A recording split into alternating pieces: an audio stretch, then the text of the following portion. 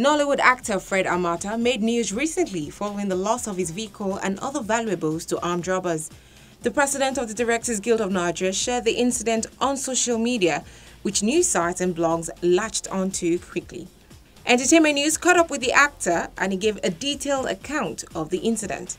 Well, I knew that I was, that I was in grave danger. I had four men